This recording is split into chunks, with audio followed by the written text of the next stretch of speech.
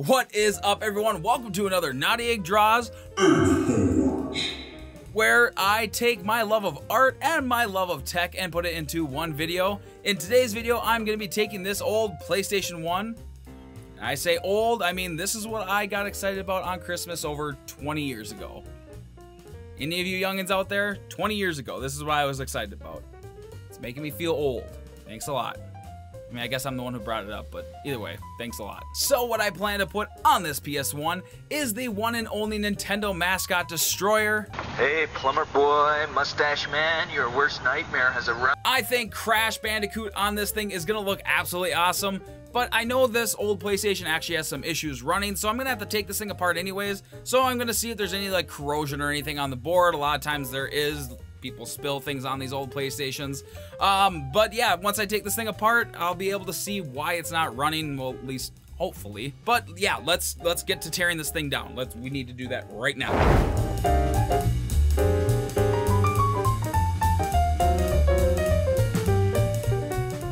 So when I was opening this system up, it actually looked pretty clean for the most part. It did have some spots of corrosion and a lot of dust. You can't really see all the dust that's on here through the camera, but there, there was quite a bit. I actually had a dust bunny fly out of the disk drive.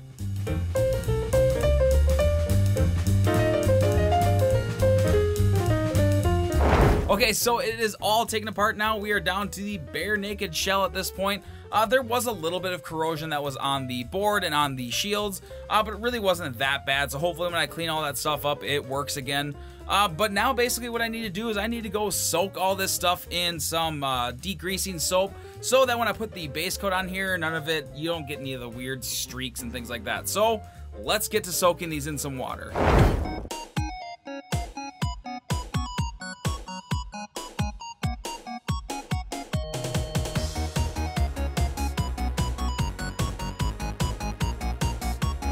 Alright, so everything is all clean, and as you saw, I drew Aku Aku here on the disc tray, and it's not because I'm going to be painting on here, it's actually going to be because I'm cutting this section out.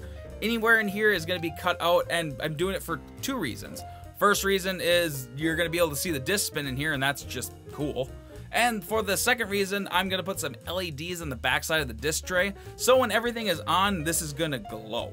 Ooh, shiny. Now I'm to use a drill and a Dremel to cut all this stuff out, so I'm to make sure I go put on my safety glasses so I don't get a piece of, piece of plastic in my eye.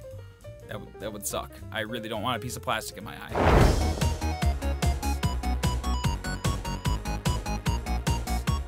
So to make this cutout design, I actually took an image of Aku Aku and I just dropped it down to a black and white silhouette on the computer, and then I just really had to plan out where I wanted to make the cuts so I wouldn't have any massive chunks just falling out where it didn't have any support. So I started with drilling some basic holes out for the basic area of it, and then actually used my drill in the same way a CNC would kind of work. I just got the drill up to full speed and then just put some sideways pressure on the plastic until it started to glide into the pilot holes that I already drilled. And then I just went in and cleaned it all up with a file.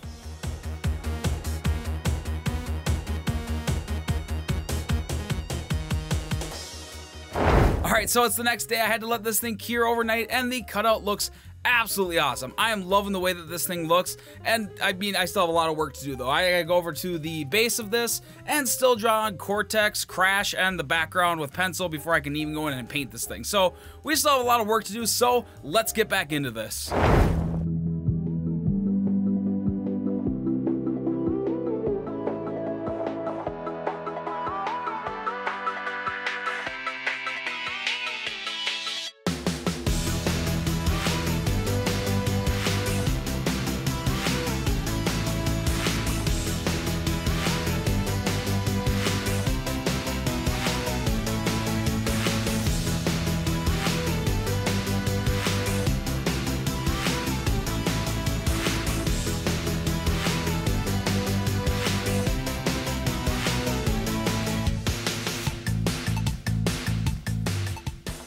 Now, growing up, the Crash Bandicoot games were probably among one of my favorite games.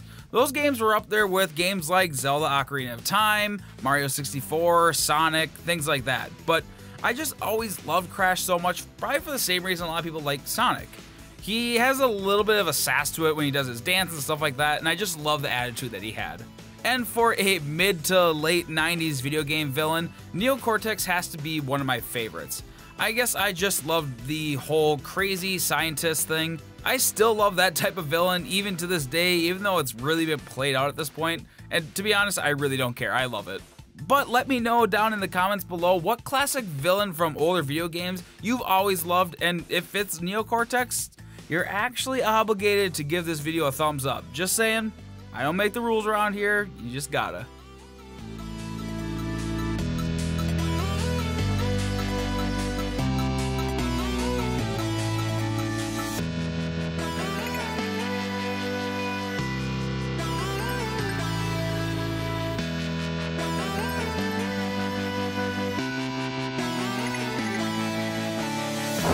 Right, everyone, so it's all drawn in, outlined, and everything. Now we just need to add the color to this and really make the characters pop. And then obviously we need to add the LEDs, reassemble everything, and everything's finished. So we need to kick it into turbo time and we need to get going.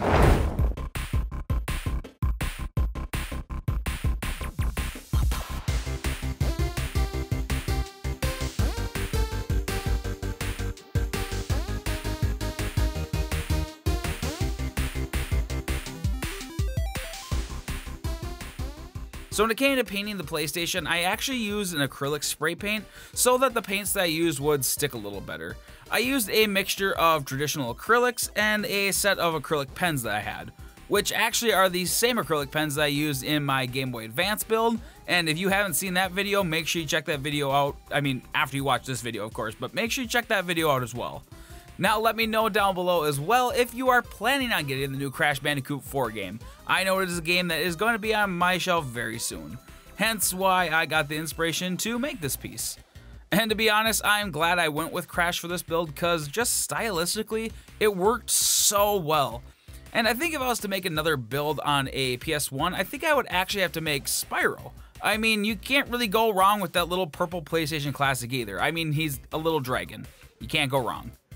But this build was an absolute blast to make. And I, I just want to know what you guys actually think about this build down below. So after you finish watching this video, make sure you leave a comment and let me know what you think about this build and maybe what I could improve on if I do another PlayStation like this.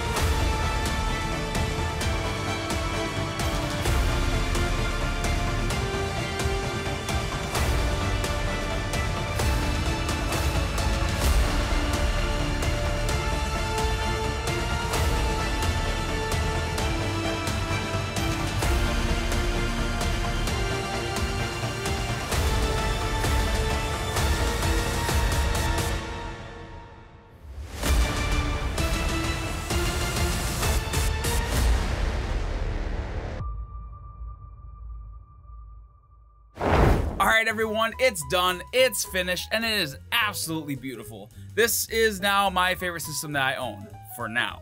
Look at all these systems, just too many, too many. Now, as you can see, I have a lot of systems back there, and that's not even all the systems I own. That's just all the stuff I can fit on that table. So if you're liking these videos, make sure you let me know down below, and I will do one of those systems. I'm probably not going to do all of them, or maybe I will. But you're going to have to let me know which ones you like, which ones you want me to do, and I will do those in the future. Now, to be honest, I'm absolutely loving these videos where I'm building these systems and bringing them into new life. If you missed the video where I did this old Game Boy Advance, put an LCD screen in here and all that kind of stuff, make sure you watch that video. It's one of my favorite videos I have ever made. I'm going to have a link for that down below. Now, if you want to check out my Patreon where you can get some behind the scenes stuff before I even release these videos, like sketches like this where I was coming up with the idea to do this PlayStation, you'll get all of that beforehand, before I even make these videos. So if that sounds like something you would like to see, make sure you check out my Patreon. That is also going to be in the link down below. But like I've said a thousand times already, if you saw a system back there that you want to see me do, make sure you leave that in the comments below. But like always, keep drawing and until next time, bye.